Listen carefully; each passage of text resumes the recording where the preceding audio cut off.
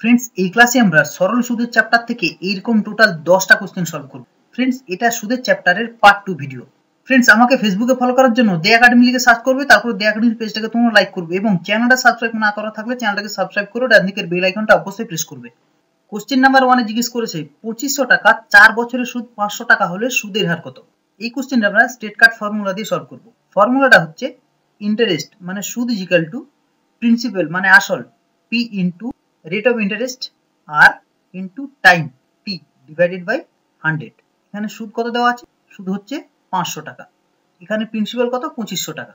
আর হচ্ছে সুদের পার্সেন্টেজ সেটা আমাদের বের করতে হবে। ইন্টু আর ইন্টু সময় কত দেওয়া আছে? চার বছর।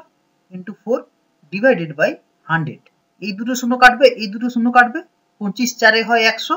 এই চার কাটবে, এই চার কাটবে। তাহলে আর এর ভ্যালু কত পড়ে থাকবে? ফাইভ আর হচ্ছে ফাইভ মানে হচ্ছে পাঁচ পার্সেন্ট সুদ। তাহলে সি ফাইভ পার্সেন্ট ইন্টারেস্ট হবে এই কোশ্চেনটার অ্যান্সার নেক্সট যাব কোশ্চেন নাম্বার টুতে কোশ্চেন নাম্বার টুতে জিজ্ঞেস করেছে, বার্ষিক কত হারে পনেরো হাজার টাকা তিন বছরের সুদ পাঁচ হাজার চারশো টাকা হবে?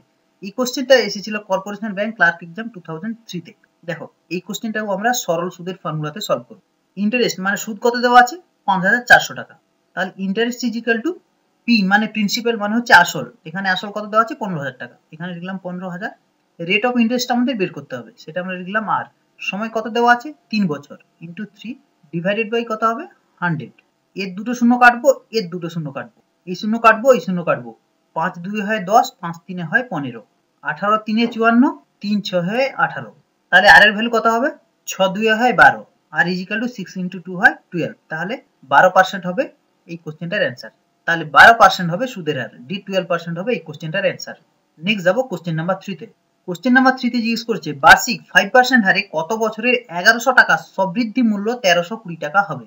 সবৃদ্ধি মূল্য মানে হচ্ছে সুদ এবং আসল।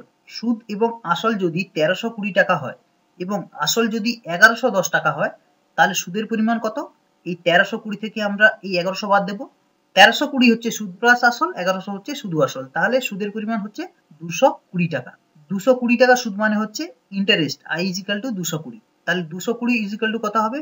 প্রিন্সিপাল প্রিন্সিপাল হচ্ছে আসল, আসলের পরিমাণ হচ্ছে এগারোশো টাকা ইন্টু আর আর মানে হচ্ছে five percent into five into time টিটা আমাদের বের করতে হবে into T divided by hundred এই দুটো শূন্য কাটবো, এই দুটো শূন্য কাটবো, এগারো দুই হবে বাইশ, আর একটা শূন্য পড়ে থাকবে, এটা হবে পাঁচ চারে কুড়ি, তাহলে সময়ের পরিমাণটা কত হবে? চার বছর ডি ফোর ইয়ার্স হবে এই কোশ্চেনটার অ্যান্সার নেক্সট যাব কোশ্চেন নাম্বার ফোরে কোশ্চেন নাম্বার ফোরে জিজ্ঞেস করেছে, বার্ষিক টেন পার্সেন্ট হারে সরল সুদে কত টাকা চার বছরে সুদে আসলে হবে? তিন হাজার আশি টাকা।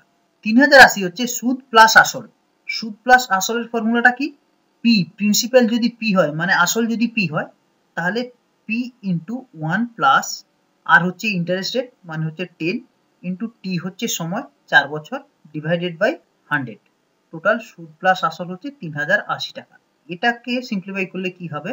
এই শূন্য কাটবে, এই শূন্য কাটবে, দু, দুয়ে চার, দু, পাঁচে দশ। পি ইন্টু কত হবে? পাঁচ একে পাঁচ প্লাস টু হয় সাত।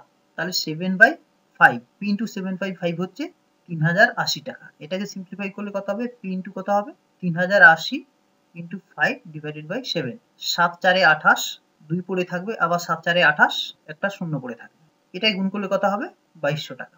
তাহলে সি বাইশশো হবে এই কোশ্চেনটার অ্যান্সার নেক্সট যাব কোশ্চেন নাম্বার ফাইভে কোশ্চেন নাম্বার ফাইভে জিজ্ঞেস করেছে, বার্ষিক কত হার সুদে দু বছরে আসল ও সুদের অনুপাত হবে? Twenty five is to four আসল ও সুদের অনুপাত। আসল যদি হয় পি প্রিন্সিপাল তাহলে সুদ কত হবে?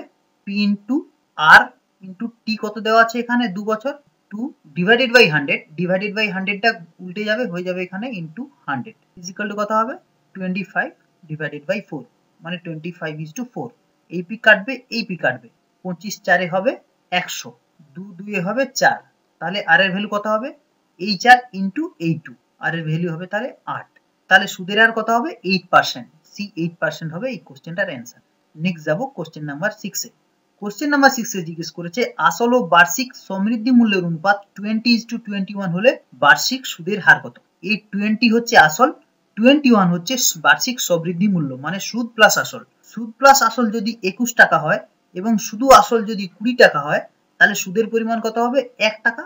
তাহলে কুড়ি টাকার উপর সুদ হয় এক টাকা। এক টাকা হয় কিন্তু কুড়ি টাকার উপর সুদ।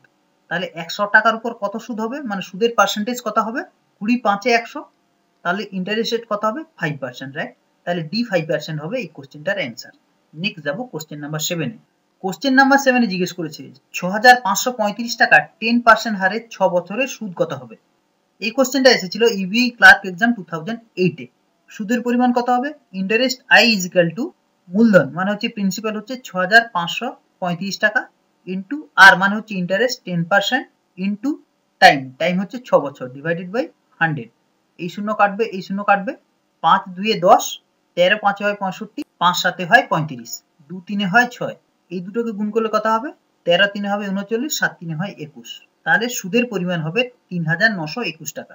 তাহলে বি তিন হাজার নশো একুশ টাকা হবে এই কোশ্চেনটার অ্যান্সার। নেক্সট যাব কোশ্চেন নাম্বার এইটে কোশ্চেন নাম্বার এইটে জিজ্ঞেস করেছে, এক ব্যক্তি এইট পার্সেন্ট সরল সুদে ছ বছরে আট হাজার তিনশো ছিয়াত্তর টাকার সরল সুদে পেলে সে কত টাকা জমা রেখেছিল? দেখো, এখানে ইন্টারেস্ট বা সুদের পরিমাণ দেওয়া আছে। আট হাজার তিনশো ছিয়াত্তর টাকা হচ্ছে সুদ।